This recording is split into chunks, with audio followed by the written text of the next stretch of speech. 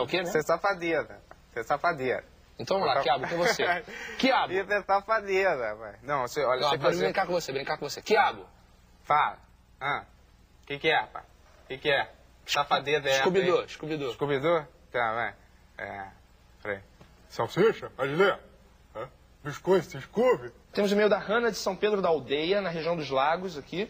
É, eu gostaria que você falasse sobre o mundo da moda, Marcelo, a importância que as pessoas dão para isso. Você é uma pessoa adequada, hein? Eu sou uma pessoa adequada? Credenciada pra Por falar quê? do mundo da moda. Fala o cara de meia, berma. Toda vez que... Berma é legal. Toda vez que eu te Berma. vejo, você tá camiseta, berma, piso Exatamente. sossegado. Por quê? Na verdade, eu acho que se a gente seguir muitas modas, a gente pode se dar mal com certas modas. Por exemplo, o ator da moda.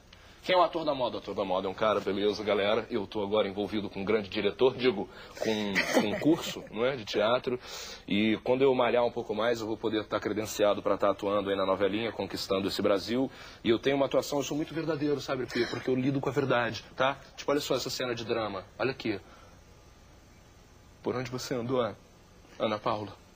Tem lenço. Você vê que só numa, numa Queria um lenço né? de papel. Então, por exemplo, Muito e, emocionado. E, e, e o moda do VJ? Quando eu tinha meus 24 anos, olha quanto tempo faz, 22 anos de idade, na verdade, 5 anos atrás, a moda do VJ era aquele cara que ficava assim, e galera, beleza, estamos de volta aí. Tô ligada, Estamos a moda aí. três tabela. Você quer a moda três tabela com pezinho em cima do negócio? Pezinho em cima da com o três clipe dos caras tabela. do Silverchair, que depois é tudo dos caras em mancha, que os caras tiveram uma puta treta com... Sabe, né? Então por isso que eu acho que a moda pode ser perigosa, entendeu? Entendi. Mas você me falou de uma outra moda. Eu Outra queria saber moda, moda. moda de saber moda, verdade, moda, né? moda, moda. Indumentária, vestuário. Aí que tá, as pessoas Certo. podem olhar pra você e entender uma coisa que você não é. Não? Sim, mas... Ou não. Ou talvez, né? Talvez, de repente, quem sabe. É Um abraço pro. Caetano Veloso que tá nos É, assistindo, nesse com momento. certeza. Oi, Lobão. É, eu tenho um tema na cabeça, que é solidão urbana. E me lembro sempre de você, quando eu penso nisso, que está aí, nessa solidão urbana.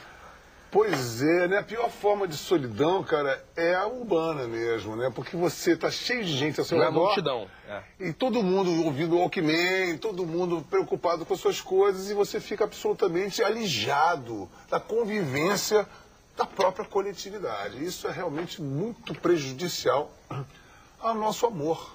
Nosso ser- amor vai se atrofiando.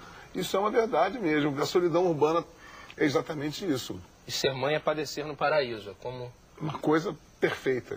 Para presidente do Brasil, quem Emael pela planeta da relação.